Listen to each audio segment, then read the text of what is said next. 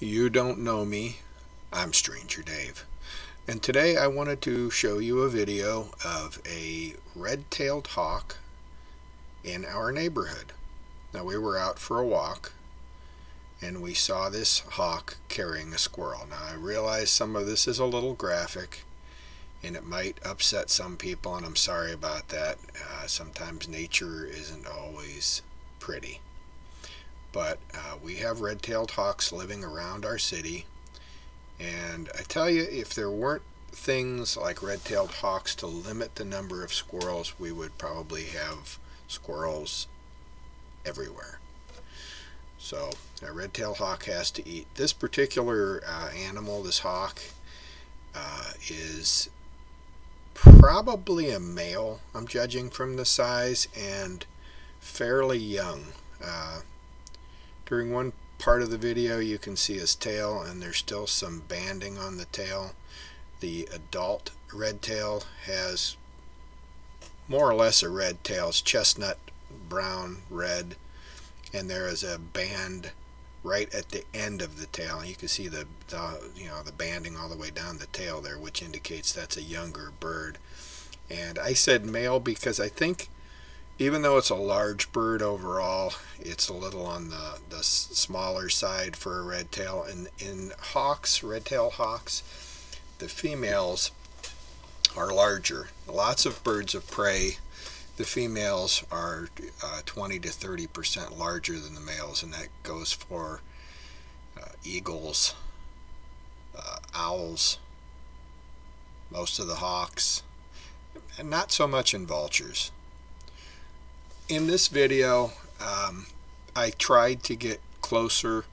It's not real good quality. Uh, I did not have a tripod. The first videos are using an older camera that had a uh, pretty powerful zoom. I could go up to 40x magnification and I didn't want to get too close because I didn't want to spook the hawk. Also, there are a lot of little twigs on this tree and I think the camera wanted to focus on the twigs a lot of times. So eventually I got around to a position where I could see the hawk better without the twigs and you get a better view. Uh, but getting a better view means you get to see more of the squirrel being eaten and that's a little on the gory side and I'm not posting this to shock people. It's uh, like I say it's nature. It's nature right around us. And uh, like I say as the video goes on it gets better. At the very the very last part of the video uh, it was done with a different camera that I had.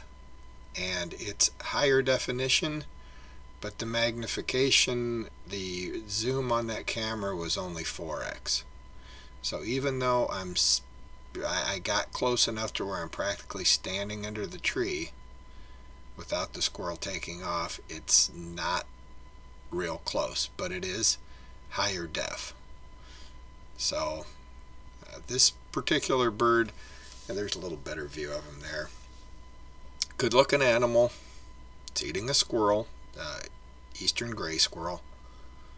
Uh, when we saw the hawk, it practically bowled us over because it was in a tree right on the corner of where we were walking and all of a sudden there's just a big flurry of wings in our faces practically so it was, it was uh, you know pretty exciting it was a bit of a shock and then we saw where it had landed and I went and got my camera did not get a tripod just kind of grabbed it and ran and came back.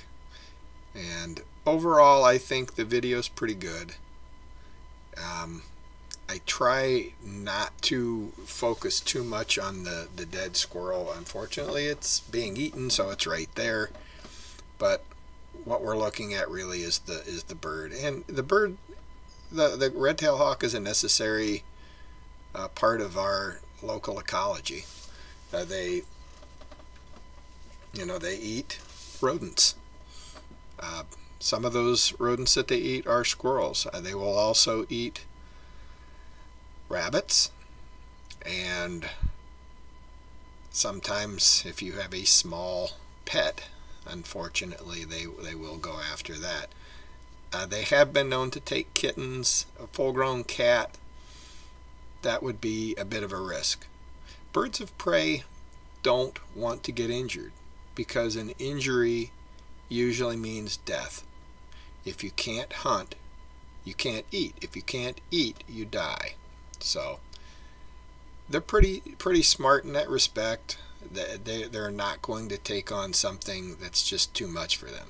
Now, sometimes a younger bird like this one I said is a younger bird, they will, you know, go after, you know, prey that's too much for them, and that's how they learn.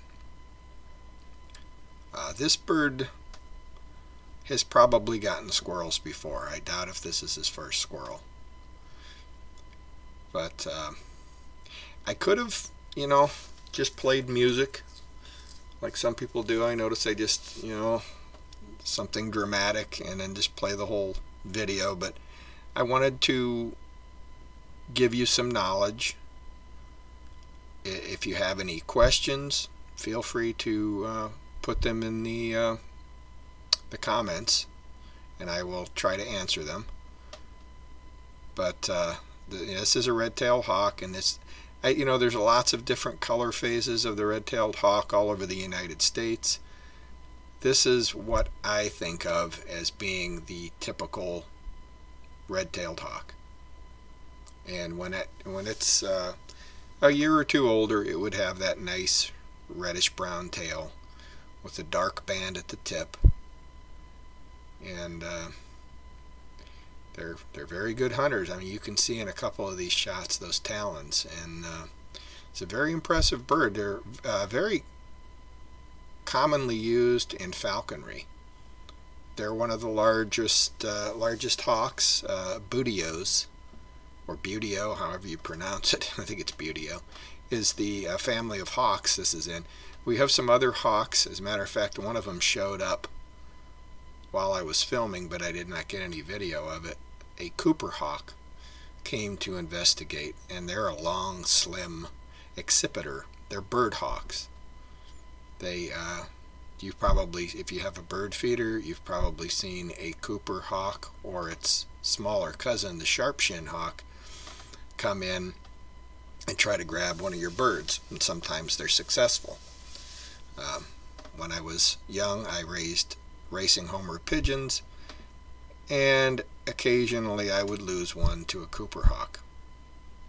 It's like I said before, that's that's nature. It happens. So this bird is really making a meal of the squirrel. I mean, it's just, you know, it, it pulls off just a little tiny bits at a time, but I think towards the end of the video, and this is all chronological, I uh, I didn't uh, switch things around, so this is all in, in the order that it happened. So towards the very end of the video, you probably will notice that his um, the crop area which is right below his neck, is kind of bulging out because he's got a lot of squirrel meat in that crop. And, you know, if, if he's got a good meal there, that'll last him for a few days. Being warm blooded, like people, they have to eat more regularly than, say, a snake would. Snakes can go sometimes months without eating, but uh, birds need to eat fairly regular. Oh, very handsome bird. I wish the quality of the video was better. Now, now, this is the higher definition video, but like I said, it's farther away. And one of the problems too, an, it was an overcast day in northern Ohio, and you really couldn't, you know, the one thing about video is you, you have to have a lot of light. The more light, the better. And I had kind of that bright sky behind him. It was midday bright overcast sky and he's kind of silhouetted. It would have been good if he had had a light shining right on him. Um, you know, if I had some kind of artificial light and shined it on him, it probably would have spooked him. So, and that would not have been natural. So this is pretty much how he looked to me as I stood on the ground. And you can see a house in the background because this is right in a residential neighborhood.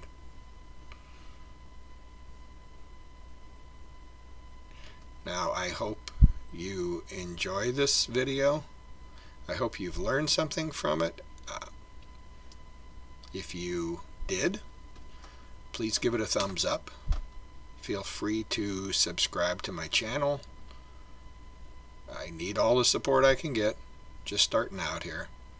It's been a while since I've uh, posted my last video, but I want to get at least one a week. And it's been over a week, but uh, you know, the holidays and all kind of inter interfere with that.